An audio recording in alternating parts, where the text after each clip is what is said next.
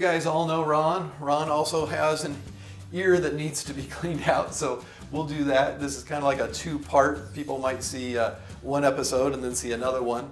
Yeah. One with freezing your uh, actinic keratosis and another one with digging out your ear. Morning.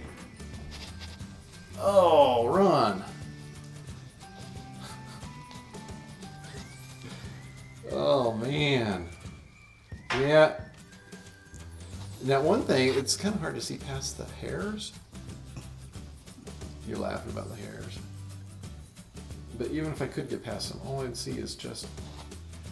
Well, let's try it again. Am I hurting you? No? Well, let me try harder then. Put this here, and then have you hold it from the side or the front, just so I can get all the way in.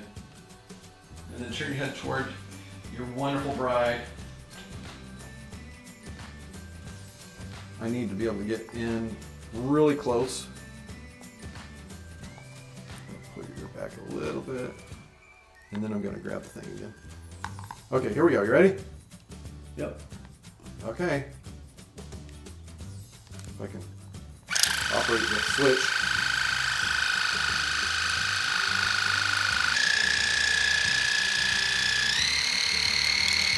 Oh, That's it.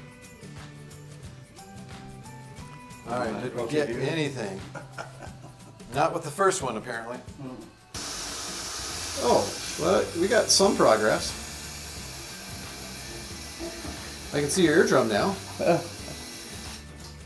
Well, I guess that's a good thing. That worked really well. Uh, I'm going to do it the same way. I'm going to first get this in position. Turn your head that direction. That allows me to really get this in, in a good spot. It's tight.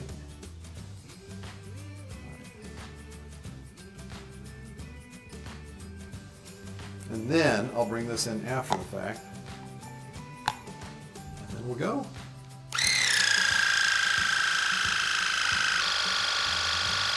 Nope, almost done here.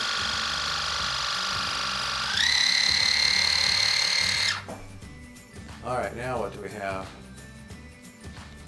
Oh yeah.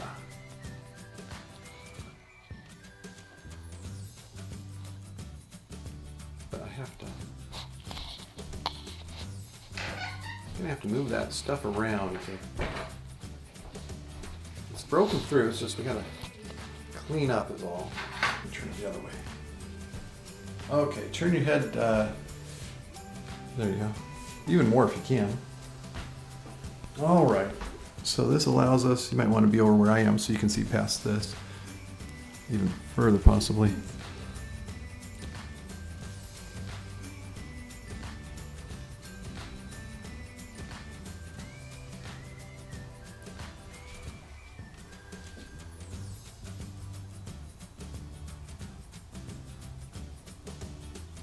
Get that whole long thing out. Not a huge prize, but I'm gonna try to use the magnifying glass. if I can. Okay. You're making a face. Yeah. You know, just for a moment, I'm gonna use this guy to take a peek in there.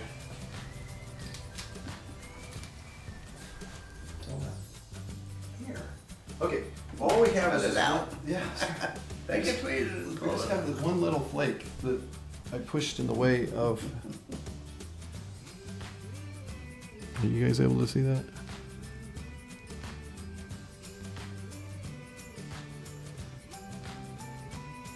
So Ron, you did look on YouTube and see yourself, didn't you? Oh, sure. Did you see all those nice comments? Yeah. Did you comment back? There it is. No, I didn't. Let's take a look in there. So what we see is an eardrum that is now uh, you're able to see it, although it's not it's not clear like a uh, you like to see in an eardrum. It looks like you've had some congestion possibly. Um, also having all that stuff washed up against it just now kind of caused some of the uh, the cloudiness of it.